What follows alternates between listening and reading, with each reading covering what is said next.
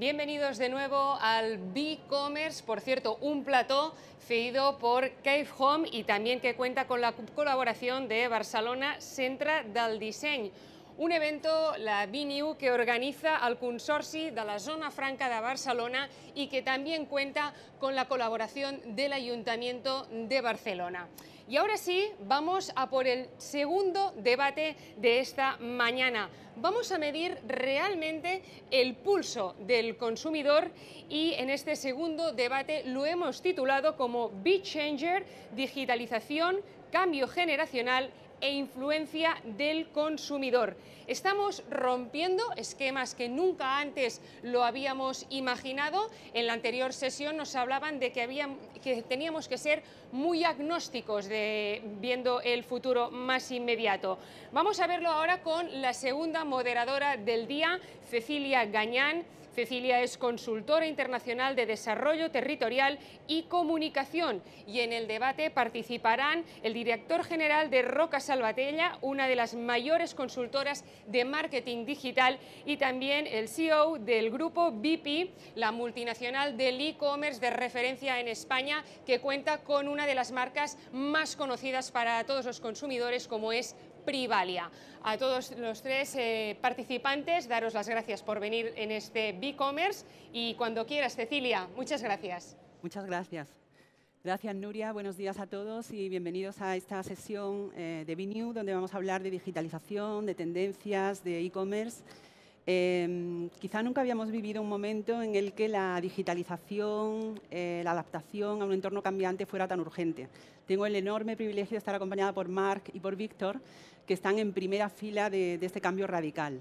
Yo empezaría por una pregunta que me parece obligada de contexto, y es quizá, Marc, preguntarte a ti, em, ¿esta pandemia ¿Qué está suponiendo a nivel de transformación digital? ¿Está acelerando los procesos? Me imagino que me dirás que sí. Y si es así, ¿qué nuevos servicios a una consultora como Roca Salvatella de referencia en el acompañamiento os están llegando? ¿Qué os piden las organizaciones ahora? Muchas gracias. Bueno, la verdad es que efectivamente está, está acelerando. ¿no? A, a, mí me gusta decir, medio en broma, medio en serio, que durante mucho tiempo esto la transformación digital. ¿no? Tenías que encontrar a un equipo directivo de una empresa que estuviera realmente implicado y motivado. Ahora no hace falta, ¿no? Eh, la pandemia creo que ha dejado claro que o te transformas o te transformas en el ámbito digital, ¿no? por lo tanto hay una parte del camino que ya está hecho. Lo que es cierto es que asumiendo a las empresas que esto la transformación digital es necesario, uh, yo creo que nos encontramos con distintas realidades. ¿no? Uh, compañías que tienen claro que hay que invertir para ser sólidas desde el punto de vista de procedimientos, de formas de llegar al mercado a medio y largo plazo, Ah, pero que por otro lado tienen un cierto medio miedo a la situación actual y que en el fondo lo que están haciendo es invertir más a corto, ¿no? invertir más con soluciones tácticas para poder estar operativos en el mercado y en todo caso quizá en algunos casos posponiendo para un poco más adelante cambios más estructurales. Ah, desde el punto de vista de qué servicios ah, eso demanda, pues bueno, al final nuestra tarea creo que es intentar hacerles ver que la parte estructural es fundamental. De hecho, uno de los motivos por los cuales algunas compañías no han podido estar a la altura en esta pandemia es que no había hecho los deberes estructurales, pero por otro lado acompañarles también en, a pesar de que eso es necesario, qué tipo de cosas puedes hacer en el corto que te ayuden en ese, en ese camino. Y por lo tanto, ayudarles a, entender dónde poder focalizar esas, esas inversiones. diría, para no alargarme más, que la situación creo que a día de hoy está, está un poco así. Estupendo. Y aterrizando un poco más concretamente en el sector del e-commerce, em, te preguntaría, Víctor, desde la atalaya que te da el grupo BP, eh, ¿cuáles dirías eh, que han sido los principales impactos que en el sector del e-commerce ha tenido? Está claro que en logística, seguro, en atención al cliente, pero en otros aspectos quizás más invisibles como la personalización, la atención al detalle, ¿cómo crees que ha impactado? Bueno, nosotros yo diría que la logística clarísimamente, porque nosotros en las primeras semanas de, COVID hemos visto duplicar nuestros, nuestros pedidos, digamos, y, digamos, disminuir a la mitad nuestra capacidad de, producción y de, y de, entrega, ¿no? Porque hemos tenido, yo creo que todas las empresas de e-commerce hemos tenido problemas desde, por ejemplo, desde los centros de producción de pedidos, con absentismo, con inquietudes sobre la enfermedad. Hemos rediseñado todos los centros de distribución para eh, safety first, para, garantizar la, seguridad de nuestros trabajadores. transportistas han cerrado, por ejemplo, para entregar un mueble, pues en, ciertos países no podías entregar porque la normativa COVID te lo impedía, todas las redes, por ejemplo, de centros de, puntos de conveniencia estaban cerradas, sea que era muy difícil llegar al cliente, ¿no? con un incremento de la demanda brutal. ¿no? Entonces, logística muy implantado, o sea, muy, perdona, muy, muy, realmente muy afectado. La parte de Customer Service, yo hablaba con un, con un amigo que decía, mira, han habido dos tipos de, centros de atención al cliente, los que estaban totalmente desbordados y los que estaban totalmente vacíos, ¿no? Y no había término medio, o sea que nosotros hemos sido también de los desbordados, ¿no? Y también hemos visto que, muchas marcas, nosotros trabajamos con las marcas de, moda, pero también de gran consumo, de, accesorios de hogar. Y, hemos ayudado a muchas marcas a digitalizarle porque realmente les ha pillado, como decía Marc, al final les ha pillado el toro, no tenían el, surtido, digamos, digital y, hemos ayudado en tiempo récord a poner esos surtidos con las tiendas cerradas, etcétera, online y a, que ellos pudieran vender, ¿no? Eh, por último, lo decías de la personalización. Yo creo que en e-commerce nosotros tenemos una ventaja con respecto al, comercio tradicional y es que vemos la demanda en tiempo real y nosotros, por ejemplo, logísticamente tenemos hasta 40 segmentaciones de productos, ¿no? Y entonces vimos eh, que la demanda al principio de COVID empezaba a bajar mucho de fashion, accesorios están muy abajo, y en cambio gran consumo, hogar, etcétera, subía. Y nosotros hemos modificado ese surtido para dar respuesta a las necesidades del cliente. Y, y, luego a la quinta, sexta semana de COVID vimos como la moda volvía a subir y hasta nos alegramos porque dijimos, mira, hay alegría, la gente empieza a pensar en salir, etcétera, e introdujimos más producto de, de, moda, ¿no? Es muy interesante esto que dices porque yo creo que precisamente organizaciones o empresas grandes como BP tiene ya el músculo para reaccionar a, un cambio tan brutal, pero Marc, te preguntaría, cuando os encontráis con otro tipo de organización más débil en este sentido, ¿cómo aprovecháis este tipo de contexto para incidir en la urgencia? Eh, ¿Cómo promovéis esa visión de cambio en las organizaciones? Bueno, digamos, no es una pregunta fácil de contestar, porque digamos, hay, yo diría que hay dos tipos de aproximaciones, si me pongo en lógica de ayudar a una empresa, hay dos tipos de aproximaciones, ¿no? las que se basan en la urgencia, en la, si no lo haces rápido te vas a quedar fuera del mercado y las que intentan poner un punto de pausa ¿no? a la hora de hacerlo. Yo soy más de la segunda escuela, por llamarlo así. ¿no? ¿Por qué? Porque yo creo que la urgencia muchas veces hace que tomes decisiones que quizá en el cortísimo plazo te ayudan, pero probablemente no te ayudan a construir para el medio y para el largo. Y el problema es que el dinero ya te lo has gastado. ¿no? Entonces, nosotros intentamos... Ah, primero, ayudar a los equipos directivos, que habitualmente creo son los que tienen que tomar este tipo de decisiones, ayudarles a, tener un segundo de pausa para poner en contexto el momento en el que están. Ah, segundo, para, ayudar, porque en el fondo hay dos caminos, y esto a veces se confunde. Hay un camino que es el camino de la eficiencia. Eso yo lo que voy a hacer es para que mi negocio sea lo más eficiente posible. ¿no? Si ahora Víctor, por ejemplo, decía, y nosotros vimos en tiempo real la demanda, vimos que bajaba moda y subía hogar, e intentamos ser más eficientes, ¿no? Pues oye, arreglamos la parte de stocks, ¿no? Etcétera, ¿no? Ese es un camino de eficiencia que a veces la gente le parece como si no fuera muy, muy fashion o muy cool, ¿no? Oye, la eficiencia te ayuda, quizá con los mismos ingresos o menos, a ser más eficiente, a ganar más dinero porque ajustas, ¿no? Y luego hay otro camino que es el de la exploración, que es el de lo que voy a hacer no es tanto para hacer mejor lo que estoy haciendo, sino para identificar nuevas oportunidades, ¿no? Y creo que ahora es un momento fundamental para distinguir estos dos caminos. Hay compañías que necesitan que les ayudes o que trabajen la eficiencia, ¿no? Por ejemplo, no sé, el caso clásico de Primark, que ha sido titular en pandemia, ¿no? Primark vende mucho, no tiene e-commerce, se cierran las tiendas, no puede vender. Es un caso claro de eficiencia. No son eficientes, no tienen una buena estrategia omnicanal. Y pues, olvídate de muchas historias, céntrate en esa, ¿no? Y luego hay otros, ¿no? Que quizá la parte de eficiencia la tienen, pero que pueden identificar nuevas oportunidades, ¿no? Pues no sé, a categorías de retailers que han identificado oportunidades con productos y servicios que no eran foco suyo, pero que les abrían oportunidades de mercado, ¿no? Pues no sé, pues el Corte Inglés cierra un acuerdo con Deliveroo para entregar comida a domicilio. Corte Inglés, ¿eh? Sí. Es, es un caso claro de exploración, ¿no? Con lo cual, lo primero es ayudar a poner un punto de pausa. Lo segundo es ayudar a ver con el contexto actual que a pesar de lo mal que va, es un contexto que presenta oportunidades, cuáles pueden ser mejor para las compañías. Y la tercera, y para mí fundamental, ponerles delante de un espejo para que vean cuáles son las capacidades reales que tienen para hacer eso. Porque una cosa es que el corte inglés visione que un acuerdo con Deliveroo para repartir comida a domicilio es una buena oportunidad y la otra es que el corte inglés tenga las capacidades en sus equipos para hacerlo. Yo creo que cuando unes las tres cosas, es decir, calma, visión, línea y capacidades que tienes, es cuando puedes empezar a tomar decisiones.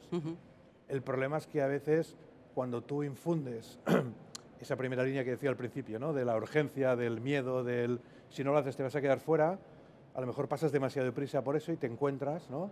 intentando cosas y no tienes capacidades, intentando caminos que quizá no son los más adecuados para tu negocio. ¿no? Lo que pasa es que lo difícil es ayudar a los comités, a las direcciones a tener ese punto de pausa para decirlo, ¿no? Pero bueno, es nuestro trabajo. ¿no? Sí. Y retomando, sigo un momento contigo, porque justamente habla de la importancia eso de dar con las piezas clave en una organización para acelerar estos procesos y acompañarlos con eficiencia. Vosotros en Roca Salvatella acabáis de publicar un estudio hace un par de semanas sobre el efecto que ha tenido el COVID en el nuevo liderazgo digital. Aprovecharía este hilo que tú me, dabas para preguntarte eh, y que nos resumiera rápidamente cómo debe ser el nuevo líder digital que habéis encontrado en ese estudio. Es la verdad es que es un, es un estudio muy interesante, lo hemos hecho Roca Salvatella y ESA de la Escuela de Negocios conjuntamente. Ah, entrevistamos a casi 500 directivos de todos los sectores de actividad, a todo tipo de compañías y distribuidos por toda España en este caso. Y yo te diría, te, sacaría tres titulares para ser muy resumido. ¿no? El primer titular es que la mayoría de estos directivos, pero con cifras casi el 90%, asumen que hay que transformar las capacidades para ser más digitales, lo segundo, asumen que los liderazgos tienen que cambiar para poder acompañar esos crecimientos y hablan de liderazgos más transparentes, liderazgos más flexibles, liderazgos más emocionales y menos ah, jerárquicos, por llamarlo así. Pero el tercer gran titular es que eso es lo que creen que hay que hacer y la otra es que la mayoría creen no estar preparados para poder hacer eso, ¿no? lo cual constata un poco lo que decía la respuesta anterior. ¿no? Ah, empezamos a ver hacia dónde ir, pero también empezamos a ver que quizá no hemos hecho los deberes en, capacitar a los equipos para esta digitalización. Y, pero al final capacitar no significa que un directivo sepa utilizar Twitter o Instagram, no, hoy que Instagram hace 10 años, esto no va de saber utilizar un teléfono, esto va de entender que los modelos de negocio se modifican con lo digital, que hay nuevas oportunidades, que el consumidor se comporta de formas distintas, que las respuestas para la toma de decisiones porque el consumidor está más informado. ¿no? Eso en el fondo es capacitarse para enfrentar ante este desafío digital. ¿no? y, bueno, yo creo que el, informe como mínimo pone de relieve estas necesidades y creo que como mínimo abre vías para, para poder trabajarlo. ¿no? Sí, yo creo que ilumina un camino ¿no? por el que indudablemente hay que, hay que transitar. En BP eh, tenéis bastante avanzado este camino porque al ser eh, uno de los primeros actores en, en el e-commerce a nivel mundial, sin duda trabajáis y cuidáis las capacidades. Te preguntaría, Víctor, por la parte que también mencionaba Mark, mm, la parte emocional. En un mundo donde el, eh, consumidor masivamente compra online, eh, y esto además se ha incrementado en el proceso que estamos viviendo a nivel global, eh, ¿qué papel juega en una gran empresa del sector de e-commerce el factor emocional? ¿Cómo sustituís la conexión humana que da la visita a una tienda física o el punto de encuentro en, el mundo virtual. ¿Qué planes tenéis para, para suplir esa parte más fría probablemente que es la compra digital? ¿Cómo imaginas ese futuro? Bueno, yo te diría que, bueno, no, es, una pregunta fácil. Eh, realmente aquí lo que te diría es que hay, cuando una persona compra, digamos, o compra una marca o compra una... Al final hay un, eh, factor emocional eh, explícito que es yo quiero comprar esta marca porque digamos, proyecta o me, o me ayuda a proyectar pues cómo yo quiero ser o, la imagen yo que yo quiero proyectar. Y luego los implícitos, que es donde, es donde trabajamos más, que es Em, cómo yo me siento a la hora de comprar. ¿no?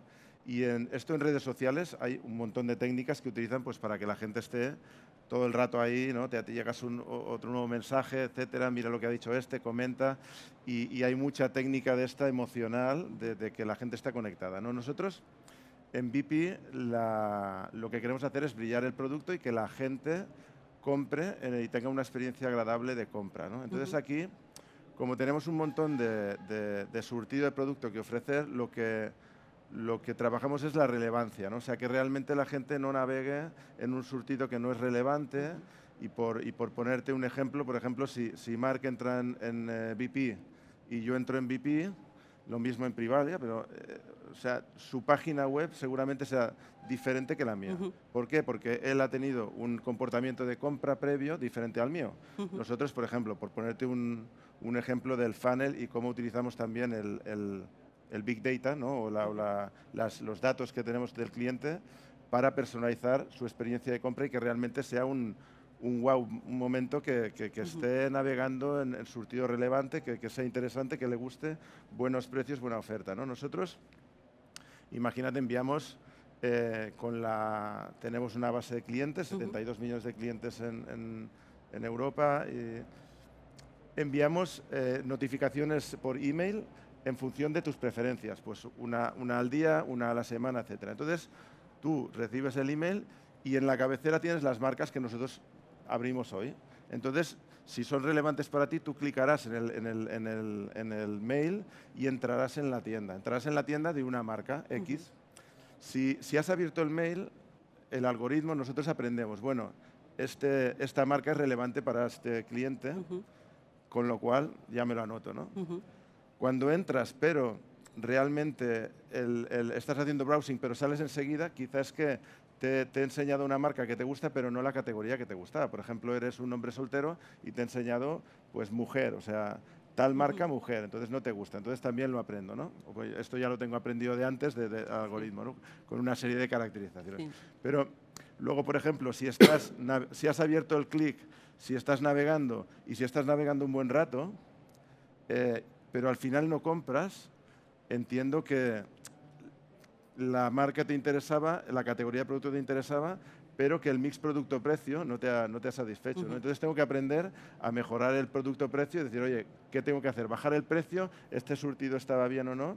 Sí. Y, y, por último, si has pasado por todo el funnel ¿no? y has clicado, has eh, entrado, has buscado, has comprado y en el carrito te abandonas el carrito, es que mis condiciones de entrega, ya sea precio o ya sea digamos, el, el, tiempo de entrega, pues no, no, te han acabado de encajar y te has ido. ¿no? Uh -huh. Luego pueden haber otros temas técnicos de que si la pasarela de pago y tal, pero eso ya lo vemos técnicamente. ¿no? O sea, sí. nosotros utilizamos todos estos datos para eh, enriquecer la experiencia de compra y ofrecer, eh, digamos, producto relevante uh -huh.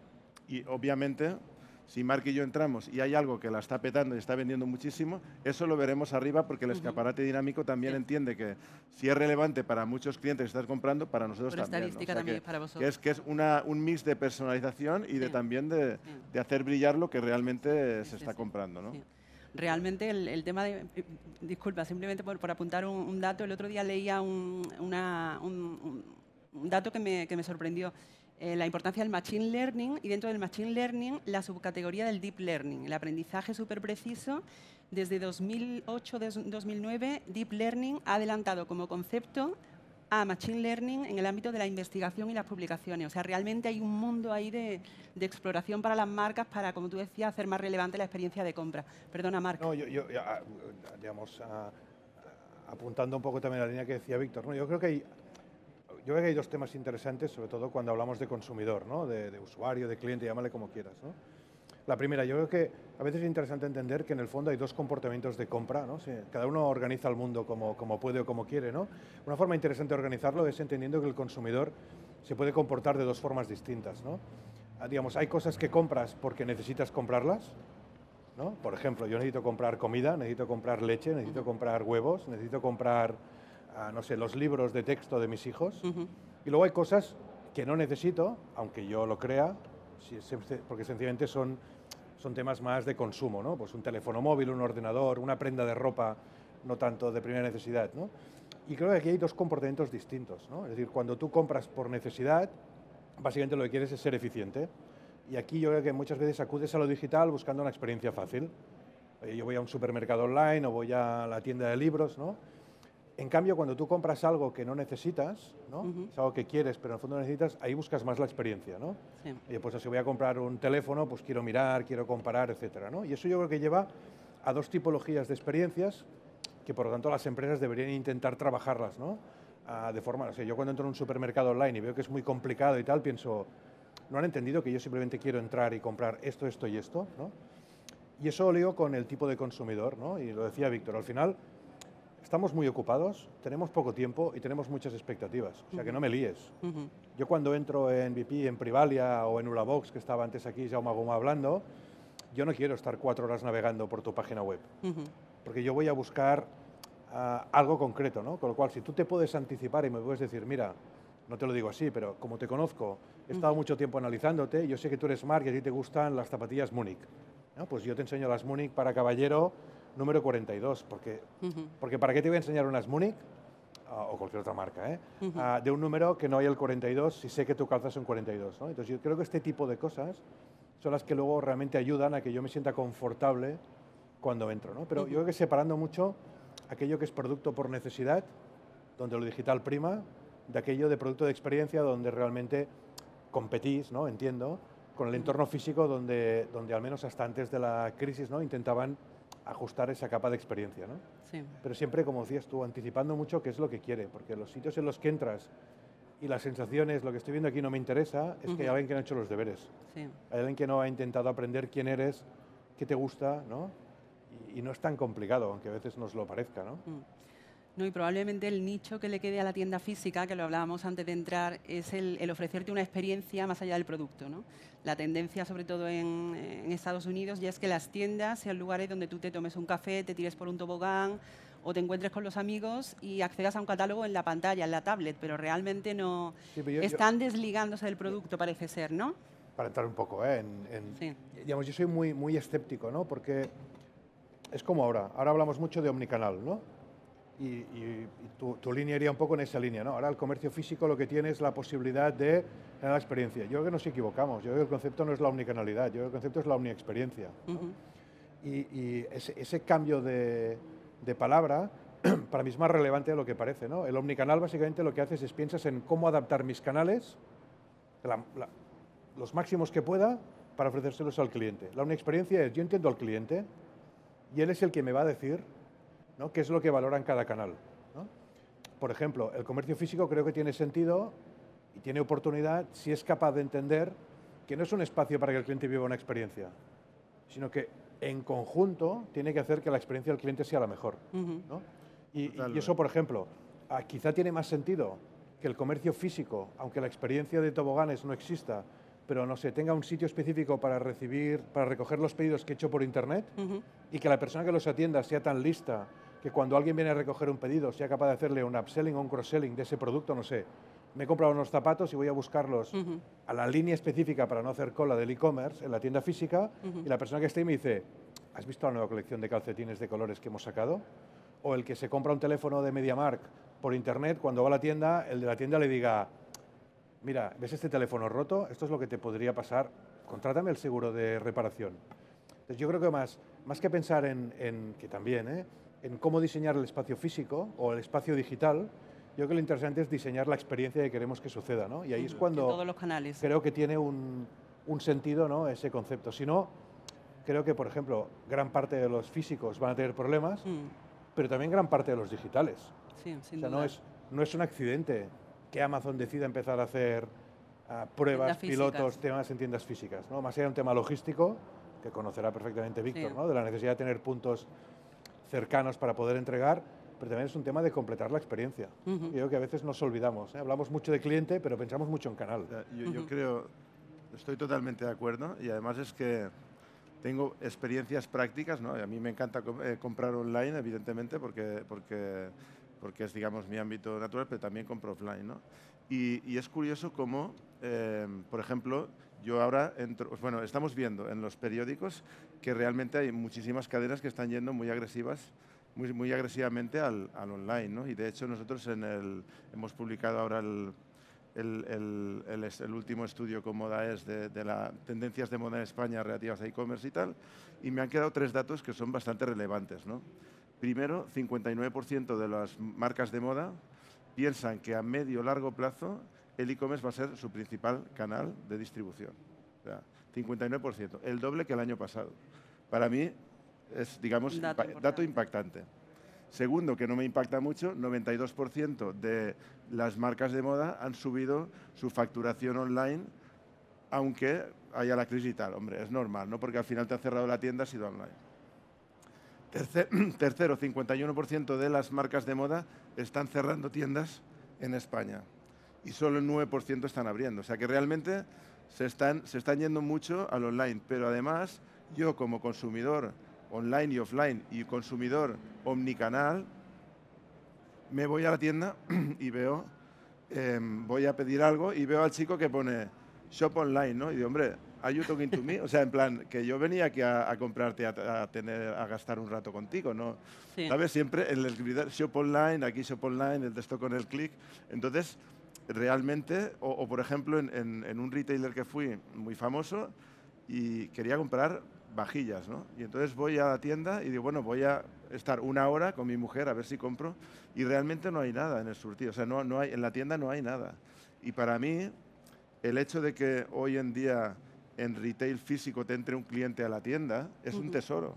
Entonces, para mí el, el omnichannel es cómo yo cojo a este cliente y evito que se vaya sin comprar. O sea, como yo, por ejemplo, con, con, el digital tengo una super pantalla para decirle, y, un, y, una, y una persona que me ayuda a comprar diciendo, espérate un momento, mira, tengo esta, esta, este modelo, este es diferente porque esto, por lo otro, tiene este coste, yo te recomiendo este, para qué ocasión lo quieres, etcétera, y entonces luego le ayudas a comprar online y luego te, lo entregan en casa, o, como por ejemplo o sea, por ejemplo, en un e-commerce normalmente se sirve desde el almacén, pero si no tienes inventario en el almacén puedes localizar la tienda más cercana y se lo envías a casa desde la tienda, que eso pragmáticamente es, bastante caro porque tienes una... O sea, hacer servir las tiendas de, como almacenes es comprarte una tienda en, en, ubicación premium, o sea, un almacén que estás pagando suelo premium y, además con, empleados que preparan los paquetes que deberían estar dedicados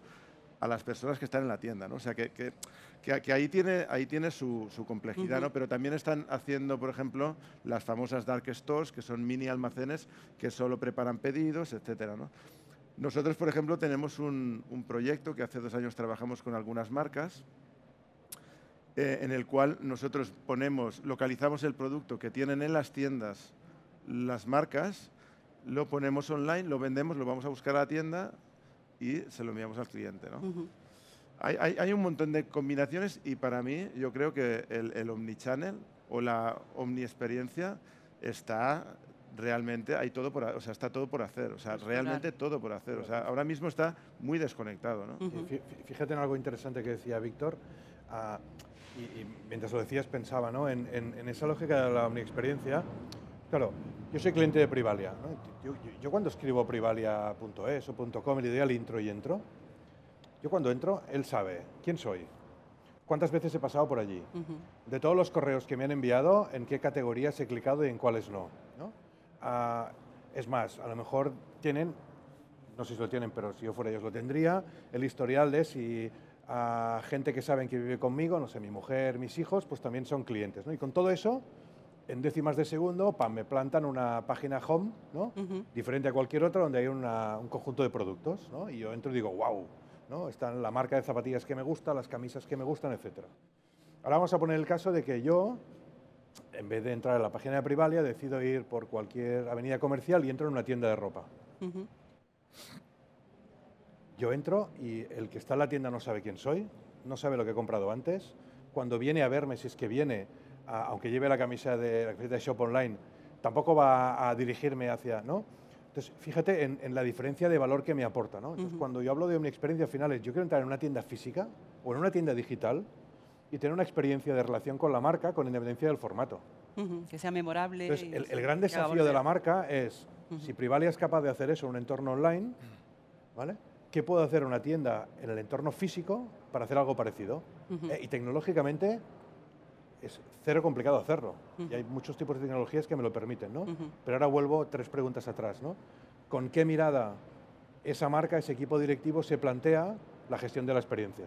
¿no? Entonces no me extraña que cierren tiendas y espérate, porque al final la tienda es un puro showroom donde hay producto no personalizado, donde la experiencia simplemente es comparar y encima tienes una pandemia que nos hace a todos un punto más temerosos de ir a espacios físicos, Claro, ¿no? el, problema, digamos, se hace... Más grande, sí. Hace más grande. Y yo creo que responde, y con esto cierro, a no entender la experiencia del cliente, a focalizarnos más en el canal que en la experiencia, y dos, a no estar preparados o capacitados como compañía para, abordar esa, mirada. ¿no? Pues os preguntaría a los dos en este punto, eh, teniendo en cuenta todo este contexto que los dos habéis explicado también, la necesidad de una experiencia omnicanal, eh, para el consumidor, eh, hacia dónde va el retail, mobile marketing y el marketing de proximidad. ¿Cómo, cómo es el futuro? Yo te digo porque, claro, nosotros el 80% de nuestro tráfico es móvil, con lo cual nosotros, digamos, tenemos una experiencia ahí. Te diría que el, cuando tú te bajas una app, tú le das una serie de derechos al, que la explota para, enriquecer tu experiencia de compra. O sea, por ejemplo, a geolocalizarte o a, enviarte notificaciones push, etc. Entonces, en nuestro caso, como nosotros vendemos, em, vendemos somos multi, multicategoría, ¿no? O sea, somos, vendemos mucha moda, pero también accesorios, eh, viajes, em, alimentación y bebidas, de todo. ¿no? Entonces, tú te puedes apuntar a una, a una lista donde dices, hombre, alarmas, esta marca, esta marca, esta marca, esta marca, quiero esta. Entonces yo utilizo la, aplicación para enviarte cuando abre o el día antes, eh, mañana abrimos tal marca. ¿Por qué? Porque nosotros vendemos con un, hasta un 70% de descuento grandes marcas y el, problema es que, digamos, el, primer día, el segundo día, se vende el 70% del surtido, porque como, digamos, pasa como lo que pasaba offline en el, las rebajas del corte inglés, ¿no? O sea, que todo el mundo ahí se pega por, por, por encontrar el producto que, que es el, mejor producto y luego quedan las cosas más picadas, ¿no? Entonces, utilizamos mucho al, el, sistema de, de, alertas y tal, ¿no? Yo creo que el, en, el, en el retail de proximidad puedes hacer exactamente lo mismo. Puedes, por ejemplo, si yo tengo una aplicación de un retailer X y le doy el derecho de que explote mi, mi geolocalización. Cuando entra a la tienda, yo quiero que me diga, hola, hola Víctor, y, que, y que personalice mi experiencia de compra. Y, por ejemplo, que si yo tengo una lista de compra, tipo compra pragmática, y tengo una lista que me guíe hacia los productos o que me haga promociones especiales, etc. Yo creo que la tecnología está ahí. El problema es o sea, cómo, o sea, la expectativa del cliente está ahí porque el cliente dice, oye, si tienes mis datos, utilízalos porque yo quiero que me enriquece la, experiencia de compra. O sea, entonces al final es cómo las empresas, digamos, eh, se plantean el, personalizar la experiencia de compra utilizando la tecnología, los canales, etcétera. Sí, yo, añadiendo un par de ideas, ¿no?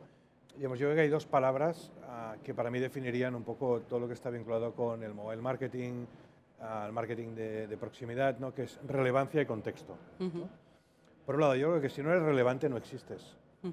Y al final la relevancia creo que marca el, el, todo lo que haga para ti tiene que ser relevante. ¿no? Por ejemplo, ah, tú puedes ir a un Starbucks y, pedirte un cappuccino. ¿no? Y habitualmente pues tú vas, llegas a Starbucks, le pides un cappuccino, te apuntan el nombre en el vaso y el vaso va hasta el final de la barra y tú lo recoges. ¿no? Ahora Starbucks ya hace tiempo que en algunos países ha sacado una aplicación a través de la cual tú puedes pedirte un Starbucks, puedes pedirte lo que quieras antes de entrar en el Starbucks. ¿no? Para el cliente puede ser relevante, sí, porque te ahorras hacer cola. Para la marca es súper potente, porque Starbucks tiene millones de clientes que no sabe quién son. No, sabe quién son, porque tú vas ahí y te pides un café. En cambio, cuando yo lo hago con la aplicación, Starbucks sabe que yo soy Mar Cortés, no sé, que nueve de cada diez veces cuando voy a Starbucks me pido un cappuccino. De tal forma que cuando yo esté, cuando puedo volver a viajar, andando en otra ciudad y pase por delante de un Starbucks, a través de un dispositivo de proximidad, ese dispositivo lee la aplicación, Mar tiene una aplicación Starbucks en su teléfono, mira, este cliente se pide el 90% cappuccinos, automáticamente debería aparecer en mi teléfono si la franja horaria, y ahí vuelvo de contexto, es decir, si me lo mandas a las 10 de la noche quizá no me interese, pero si son las 9 de la mañana, ¿no?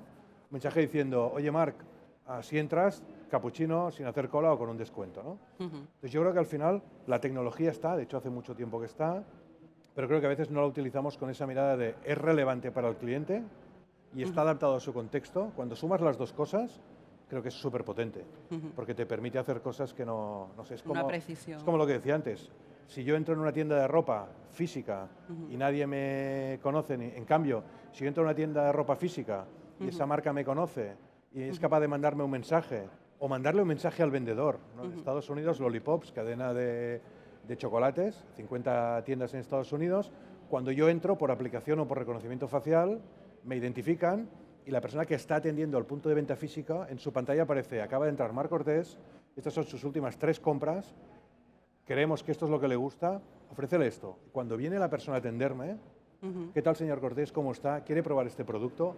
Ah, la experiencia es brutal. ¿no? Entonces, Y, y hoy, en, y hoy en día está súper desconectada, porque al final te dicen, no, esto míralo online, ya, pero no me acompañas a mirarlo online, no hay una pantallita, algo donde me, donde me facilites incluso, porque yo no conozco tu página web igual, o sea que estás súper, súper desconectado. ¿no? Bueno, entramos ya en la fase final del- de la sesión. Entremos- tenemos una- unos minutos para eh, preguntas que han llegado en la plataforma, entonces os las voy a ir trasladando. Nos preguntan, por ejemplo, eh, cómo evolucionará el e-commerce a la vista de los patrones de consumo de eh, las nuevas generaciones. ¿no? Los millennials están altamente conectados, es un cliente que aporta probablemente, diría yo, una experiencia de compra muy tendente a- al gastar en experiencias. ¿Cómo ve el e-commerce o cómo se adapta el e-commerce al nuevo patrón de compra de, eh, de los millennials, de las nuevas generaciones? bueno, no sé, yo- Bueno, no sé, yo, yo veo, yo ahora mismo veo que las, las digamos, todas las, los, los TikTokers de la generación Z, los Instagramers, tal y cual, hay una, digamos, hay un, cada vez están haciendo más uso de las, de las, de las plataformas de venta, digamos, nativas ahí. Creo que, creo que las, las empresas de e-commerce como nosotros tenemos un- una, un potencial de consolidación de, de demanda porque, porque al final tenemos un surtido muy, muy variado. Es muy difícil, digamos, ser relevante si tienes un producto, una marca, una categoría, porque al final llevar ahí al cliente es difícil. En general creo que, que- que- que- pero yo creo que tú sabes más del tema, muchas redes sociales, veo, muchísima influencia ahí. Por ejemplo, todas las marcas de moda se están, en vez de ahora hacer el anuncio y tal, cada vez están más yendo a cuál es la, la Instagramer, la influencer o el influencer que más representa el colectivo de personas que yo intento eh, captar, ¿no? O sea que... Yo, yo separaría, ¿eh? separaría porque si metemos a todos los clientes con ese final en la misma cesta, creo que podemos cometer errores. Si me centro en los colectivos más jóvenes, yo creo que hay tres características que cualquier, cualquier que esté trabajando en e-commerce debería tener en cuenta. La primera, ah, el primer punto de contacto ya no es el de antes, es decir, la, la generación más joven va antes a Internet que a otro sitio. ¿vale? Es decir, aquello de voy a ver a la tienda, no, no. Dos, a- además, este primer punto acostumbra a ser más un punto donde puedan comparar que un punto donde vayan a comprar. Ujú, Es decir, ah, no sé, el caso típico de los hoteles que está muy manido, pero cualquier otro. Es decir, antes irán a un sitio donde puedan comparar que al propio sitio de la marca. Y tres, no perdonan. Y creo que eso hay que aprenderlo. Es decir, no perdonan el error, no perdonan el... el- es- en, en- en marketing hablamos mucho del concepto universe, ¿no? El- el- la, la unión de you y universe, ¿no? Es decir, las generaciones más jóvenes y las no tan jóvenes también, lo que buscamos son entornos personalizados. Y cuando digo personalizados es un poco lo que decía Víctor Sí. antes. No que sea exclusivo para mí, sino que cuando yo entre tenga la sensación de que eso está pensado para mí. El caso clásico de entro en Amazon y aparece aquello de cinco productos que otras personas han, ¿no? que es un caso típico, al final yo ya sé que eso se enseñan a otros, pero estoy viendo que eso lo han pensado para mí. Yo que si no tienes en cuenta estos tres elementos, ¿no? Ah, digamos, puede ser que la apuesta que hagas vaya... Pero también diría, para cerrar, que los últimos cinco meses están generando mucho ruido. Es decir, tengo la sensación de que todo el mundo ha pensado que esto del e-commerce se ha acelerado para no volver atrás, de que todos ahora ya vamos a entrar en el e-commerce. Hemos visto crecimientos muy fuertes, pero también hemos visto decrecimientos, ¿no? Y creo que hay que tomar con, un cierto, con una cierta distancia para no hacer... ah, para no hacer conclusión lo que hemos visto durante los últimos cinco meses, porque creo que ahí podemos cometer errores relevantes. Creo que tenemos tiempo para una última pregunta. ¿Sí? Vale, pues eh, nos preguntan por la ética de los datos si sería una nueva habilidad del nuevo líder digital. Sin ningún lugar a dudas, pero eso es un, vaya, yo, yo- yo lo tengo y quizás somos muy, si la palabra, si me permitís, integristas en eso. ¿no? Yo creo que la ética en el dato es una fuente de ventaja competitiva. Quizá hoy todavía no, todavía es muy incipiente, pero lo será. Es decir, yo estoy convencido que acabaremos tomando decisiones de compra de productos y de marcas en función de cómo éticamente traten nuestros datos. Y lo traduzco. Si tú me dices para qué vas a utilizar el dato, yo a lo mejor ah, decido apostar por ti. Esto es como, yo a veces, a, yo también doy clase a mis alumnos siempre les digo lo mismo, ¿no? Yo cuando voy a una tienda y me preguntan, me da su correo electrónico, siempre hago la misma pregunta, ¿para qué lo vas a utilizar? Si no me convences, no te lo voy a dar. Y si me obligas, por ejemplo, porque estoy en un e-commerce, si me obligas al el correo electrónico, voy a ver cómo lo hago para darte uno que realmente o sea el que no utilizo y donde llegan las comunicaciones, o sea uno falso. Porque al final mi dato es mi dato. Y no te lo voy a dar si luego lo vas a utilizar. Entonces yo creo que las empresas que están empezando a utilizar, ¿no? por ejemplo, operadores de telecomunicaciones que te dicen, con tus datos voy a hacer esto, esto y esto, ¿me autorizas? ¿Vale? Porque es que yo ya sé que lo van a hacer. Prefiero que me lo digan. El problema cuál es? Cuando estamos en mercados que no son, que son monopolios. Es decir, Google, Facebook, uh, operadores de telecomunicaciones, una parte de la banca, donde no tienes una alternativa. Pero allí donde están empezando a aparecer alternativas que te dicen, con el dato voy a hacer esto, estamos empezando a ver comportamientos de toma de decisión basados en esa transparencia. A mí me gusta mucho una frase del presidente de Roca Salvatella, de Genís Roca, eh, que dice que los datos no se captan, se merecen. Bueno, y creo que... Resume, resume nuestra idea acerca de la ética de los datos, ¿no? Mm. que a veces es un poco, digamos, poco popular o, digamos, que tiene todavía hoy creo que poco trayecto, ah, pero yo estoy convencido que va a ser fuente de ventaja competitiva, no tengo ninguna duda. Mm seguramente tenga que ser paralelo con un activismo social, ¿no? que se tiene que despertar todavía, donde como consumidores y ciudadanos exijamos mayor transparencia. Lo que pasa es que entonces mezclamos, mezclamos, cuando aparece el concepto de activismo social, la gente, y al final hay una realidad tangible y es el dato es propiedad de quien lo genera. O sea, mi nombre, mi dirección de correo electrónico, mi consumo es propiedad mío. ¿no? Y el problema en Europa es que vivimos entre dos mundos, ¿no? El mundo americano, donde es la selva, el dato habitualmente es de las empresas, y el mundo más asiático, donde el dato es del Estado, ¿no? Y nosotros todavía estamos decidiendo si somos más de nuestro padre o de nuestra madre, ¿no? Pero el dato es de quien lo genera, y las compañías tienen que entender y respetar eso, pero no como una prohibición, yo lo digo como una fuente de ventaja competitiva, ¿no? Si cuidas al cliente a sus datos y lo pones en valor, el cliente va a ser agradecido. Estoy convencido. Yo creo que esto se ha visto mucho en la, en la trazabilidad COVID, por ejemplo. Culturas donde el dato pertenece al gobierno o hay una cierta, digamos, em, autorización de utilización de datos por parte del gobierno, pues por ejemplo para trazar los positivos de los negativos, etcétera, no solo por aplicaciones, sino por cámaras en la calle, reconocimiento facial y tal, ha sido, digamos, esas culturas han sido más eficientes en, en la prevención que, que en Estados Unidos, en Europa, que al final no, nos ha pillado contrapié, ¿no? Sí. Hay una pregunta más sobre el marketing conversacional. Yo creo que es más bien para ti. Em, entiendo que es el marketing eh, que surge a partir de estos aparatos eh, que nos escuchan y, con los que hablamos en casa. ¿Está eso um, comenzando? ¿Es una línea de futuro que tendrá que incorporar el sector del e-commerce? ¿Cómo se conjuga la verdad es que no soy un gran experto yo en el, marketing conversacional. Si dejas que rescate a Víctor un segundo, ¿no? Ah, yo en el marketing conversacional, para que nos entendamos, WeChat. O sea, porque... un espacio en el que tú estás en una conversación y dentro de esa conversación aparece una oportunidad, ¿no? Ah, hoy decíamos Instagram, hoy hace 10 años, ¿no? Instagram empieza a hacer un espacio de marketing conversacional, ¿no? ¿Por qué?